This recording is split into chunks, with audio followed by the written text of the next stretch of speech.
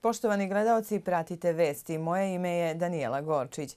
Premijer Srbije Aleksandar Vučić uputio je zahtev za održavanje vanrednog zasedanja parlamenta 5. februara, na kojem će biti razmatrano razrešenje ministra odbrane Bratislava Gašića. Premijer je ovlastio ministra financija Dušana Vujovića da vrši ovlašćenja ministra odbrane do izbora novog ministra.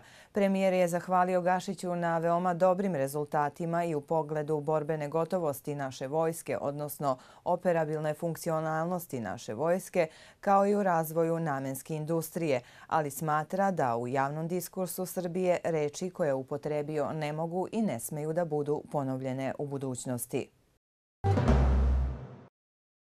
Premijer Srbije Aleksandar Vučić otvorio je danas u crkvini kod Šamca u Republici Srpskoj novu osnovnu školu za čiju izgradnju je novac donirala Srbija.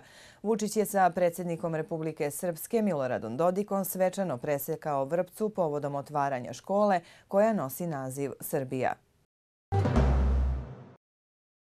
Gradski menadžer Goran Vesić izjavio je da će novi zakon o stanovanju koji je u skupštinskoj proceduri omogućiti da se konačno uvede red u održavanju stambenih zgrada, što je želja većine građana. Novim zakonom je predviđeno da svaka zgrada predstavlja stambenu zajednicu koja će imati obavezu da održi skupštinu i izabere upravnika zgrade.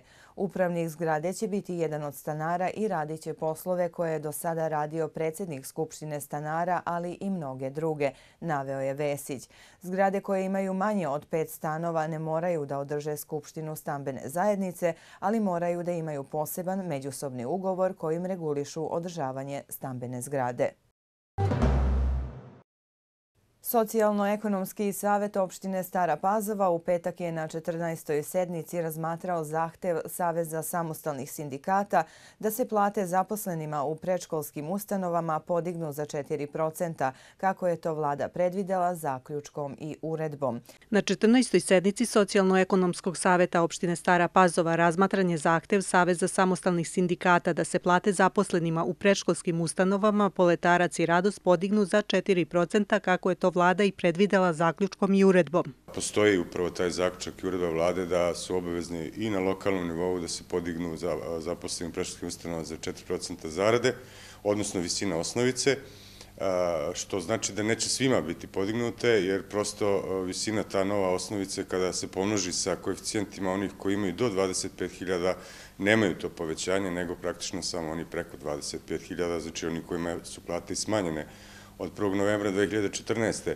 Ovom prilikom za predsjedavajućeg socijalno-ekonomskog saveta za 2016. godinu izabran je Rade Erceg ispred Saveza samostalnih sindikata, a koja je još odluka usvojena, pitali smo sekretara saveta Milenka Vučinovića.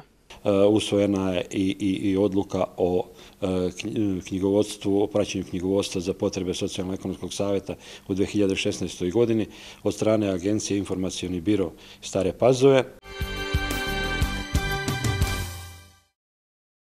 Vesti sporta. Slavko Tuveđić, futbalski radnik iz Indije, ponovo je izabran za predsjednika Područnog futbalskog saveza Srema na Skupštini koja je održana u sportskom centru u Staroj Pazovi i kojoj je prisustovao 41 delegat, koliko saziv Skupštine i broji, za Tuveđića su glasala 23 delegata, 17 je bilo za drugog kandidata Aleksandra Umerića iz Sremske Mitrovice, dok jedan delegat nije glasao.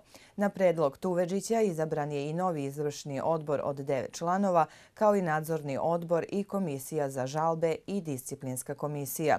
Skupštini je prisustovao i Uroš Milojković, generalni sekretar Futbalskog saveza Vojvodine sa saradnicima, kao i predstavnici lokalne samouprave i Stare Pazove.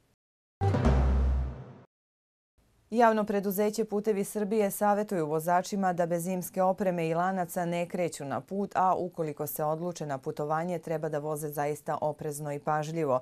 Zbog vlažnih kolovoza i pojave niskih temperatura u jutarnjim i večernim satima, moguće je stvaranje poledice pa se apeluje na vozače da prilagode brzinu kretanja situaciji na putu i savjetuje se maksimalan oprez u vožnji.